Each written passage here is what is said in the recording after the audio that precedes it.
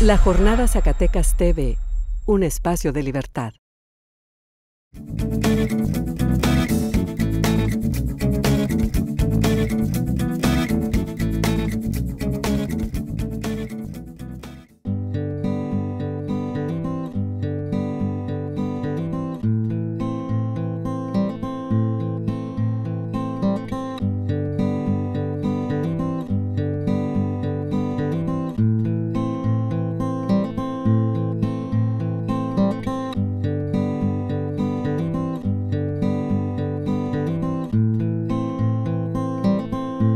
Hola, ¿qué tal? Bienvenidos a Centos. En esta ocasión nos encontramos en un rincón del rincón típico, un restaurante que se encuentra en la avenida Rayón, en la calle Rayón, en un callejoncito muy, muy, muy interesante. Y nos encontramos aquí para hablar de, de, un intelectual, uno de los intelectuales, uno de los escritores más importantes y complejos del siglo pasado en México, quien es José Revueltas, pues en este 2014 no solo se celebran los 100 años de Octavio Paz y de Efraín Huerta, sino justamente en noviembre, el 20 de noviembre, las casualidades no son coincidencias, se celebran también los 100 años del nacimiento de José Revueltas. Y para platicar de su vida y obra estamos con Emiliano Garibaldi, quien es un docente investigador de la Unidad Académica de Letras, a quien le agradecemos muchísimo que esté aquí porque tiene muchas actividades y recortado el tiempo, como también lo tenemos aquí en el programa. Por eso mismo, Emiliano, nos gustaría empezar, eh, que nos platicaras quién fue José Revueltas. Bueno, pues muchas gracias por la invitación. A mí me gustaría empezar a hablar de revueltas eh, a partir de otro crítico que es Ángel Rama, que hace un estudio sobre las relaciones entre los intelectuales y el poder. ¿no? Y él, cuando habla de México, él dice que él no encuentra otro país como en México donde los intelectuales tienen tanta fascinación por estar al lado del poder. ¿no? Él hace un recorrido desde la colonia hasta el mediados del siglo XX y dice, en México la mayoría de los intelectuales tienen una fascinación por el poder. ¿no? Y en ese sentido yo creo que José Revueltas es la contraparte de esa idea. ¿no? Yo creo que José Revueltas, eh, como escritor, como intelectual, eh, siempre fue congruente eh, en el sentido de su ideología, ¿no? y en ese sentido siempre fue un crítico de la sociedad y un crítico del Estado y un crítico del poder, y al que nunca se le pudo eh, fascinar tan fácilmente. ¿no? Yo creo que algo que se puede rescatar y que siempre se debe rescatar de José Revueltas es su posición política, pero también su posición literaria, ¿no? su relación tanto con la política como con la literatura. ¿no? Y eh, en ese sentido yo veo a José Revueltas como un modelo a seguir de parte de los intelectuales mexicanos, ¿no? que no se ha tomado mucho en cuenta, ¿no? que en realidad la mayoría otra vez de los intelectuales mexicanos se van hacia esta fascinación por el poder, me gusta estar ahí a un lado del poder, y Revuelta siempre estuvo en contra de ese poder. ¿no? Entonces, en ese sentido yo creo que es una figura eh, rescatable, no solamente en esta parte política, sino que también literariamente, ¿no? O sea, es, este, es un escritor interesantísimo y es un escritor con una técnica narrativa impresionante. ¿no? Entonces, en ese sentido, eh, pues yo creo que hay que rescatar las dos, estas dos dimensiones de José Revueltas, la política y la literaria. Sí, y que muchos se excluyen a José Revueltas justo por esta, este, esta coherencia, incluso esta coherencia de pensamiento y político, ¿no? Es muy interesante. Y hablando de José Revueltas como escritor, digamos, ¿cuál sería la poética de José Revueltas? ¿Cuáles son los grandes temas en sus novelas y en sus cuentos?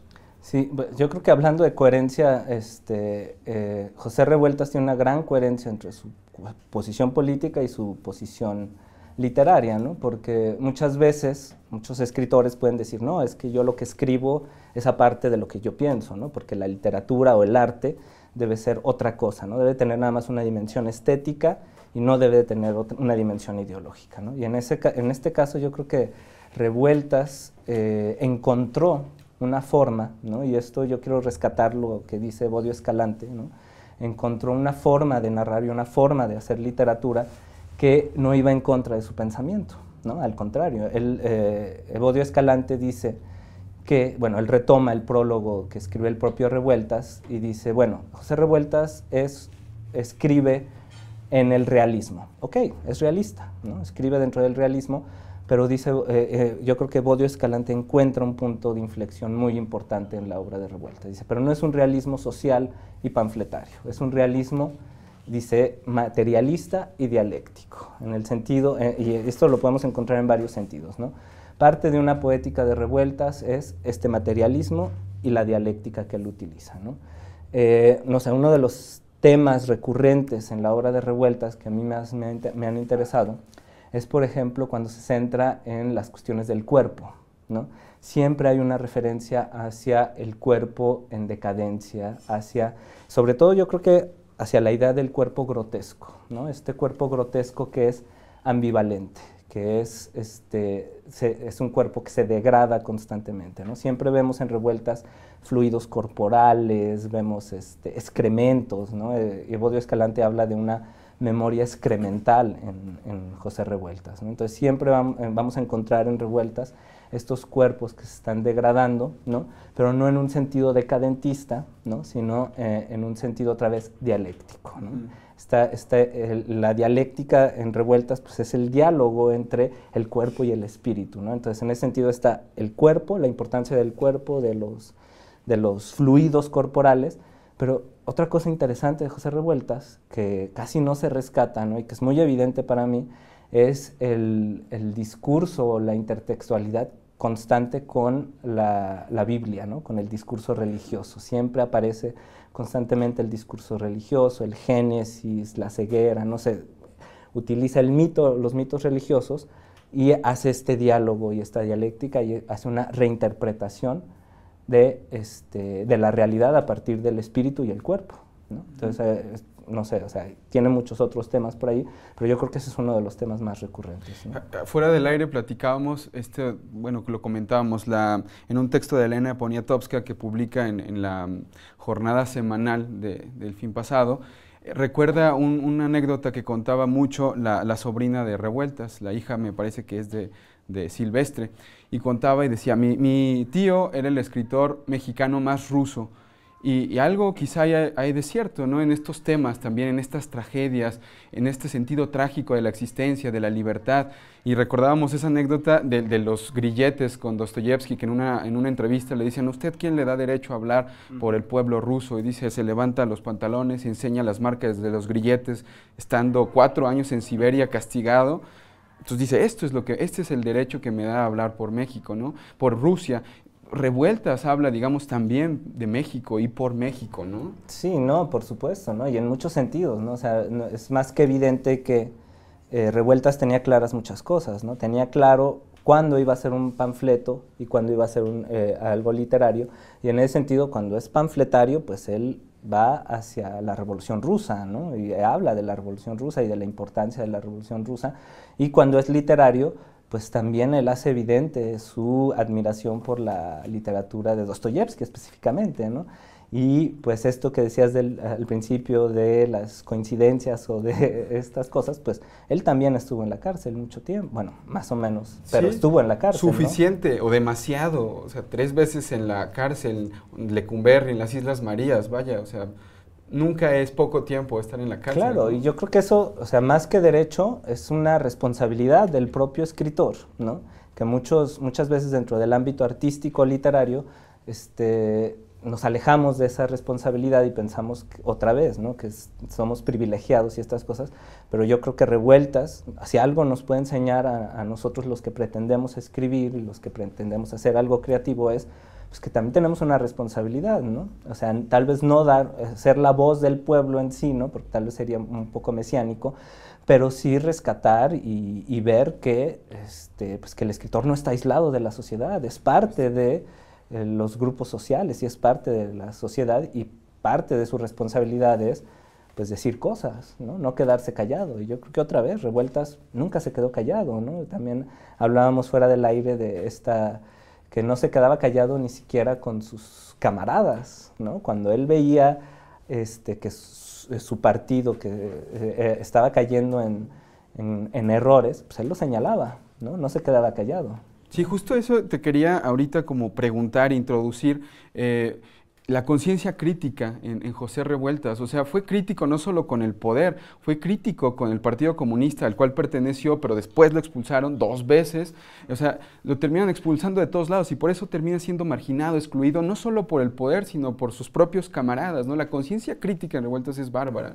Y yo creo, que, yo creo que sí fue crítico con el poder en sí, con el poder en general, porque lo que él criticaba era cómo dentro del Partido Comunista se estaba haciendo un poder similar al que, al que se hacía de parte del Estado. ¿no? Y en ese sentido yo creo que él tenía muy claro que él era, él es, él era crítico efectivamente con los cotos de poder y con el poder, no, no, de, no pensando en de qué lado está el poder, ¿no? sino el poder es el problema. Y, y, la corrupción que, que, al final está vinculada al poder, ¿no?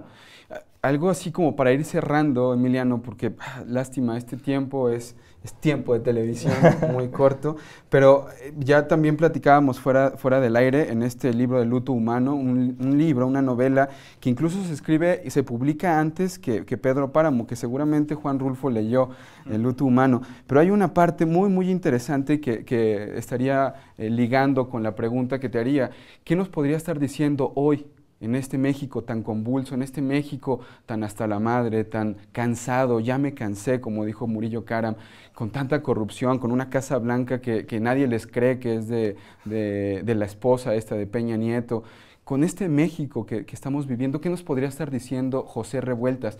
Y ¿Por qué seguir conservando esta figura del intelectual mexicano como fue José Revueltas? Y nada más citando esto, o sea, dice, algo tan ilógico, tan descomunal, tan extraño, solo pudo ocurrírsele porque era así la tierra de este país. Una tierra tierna, cruel, hostil, cálida, fría, acogedora, indiferente, mala, agria, sin embargo pura. O sea, esos oxímoron, otra vez esos esas contradicciones, ¿no? esa, esa dialéctica. Pero ¿Qué, ha cambiado de México? ¿Qué nos podría estar diciendo hoy Revueltas de este México? Pues yo creo que la literatura de Revueltas sigue siendo tan actual también por la forma en que le escribe, ¿no? O sea, él está hablando de dialéctica, pues eh, eh, lo que podemos ver es que pues, la realidad es dialéctica, ¿no? Al mismo tiempo de que nosotros vemos estas, eh, estas cosas terribles que hace el poder, ¿no? Estas cosas que como ciudadanos nos pueden deprimir, al mismo tiempo está este, la esperanza de que esto pueda cambiar constantemente, ¿no? Cuando vemos estos asesinatos, efectivamente estas... Este, estos desgarros que hace el poder hacia la sociedad, pero al mismo tiempo vemos cómo esta sociedad empieza a levantarse y empieza a decir, esto no es lo que quiero, ¿no? Yo creo que otra vez vivimos en esa, en ese, en esa emocionalidad dialéctica, ¿no? De decir, ok, estamos hasta la madre, pero también este, podemos cambiar las cosas, ¿no? Y en ese sentido, pues Revueltas señala muy bien efectivamente cómo es esta realidad, ¿no? Es una realidad dialéctica en la que mm, este, en la que al mismo tiempo podemos pensar en México como una tierra cruel, pero al mismo tiempo como una tierra esperanzadora. ¿no? Por un lado está la crueldad del Estado, ¿no? la indolencia del Estado, pero por otro lado está la esperanza de, yo creo que de esta generación que está surgiendo y que nos está enseñando que las cosas y nos está esperanzando a todos de que las cosas pueden cambiar ¿no? y de que no siempre la realidad va a ser la misma. Este, y en ese sentido yo creo que leer a revueltas actualmente es este, también muy esperanzador y, sobre todo yo creo que después de leer una novela de revueltas siempre vamos a ver la realidad de otra manera. Yo creo que eso es algo fundamental en lo literario. Después de leer cualquier cuento o novela de revueltas, la realidad para el lector ya no va a ser la misma, va a ser una realidad completamente diferente. Emiliano, muchísimas gracias eh, por estar aquí. También muchísimas gracias al Rincón Típico por, por, dejarnos grabar este programa aquí. Y gracias también a ustedes por seguirnos. Nos vemos en la próxima emisión.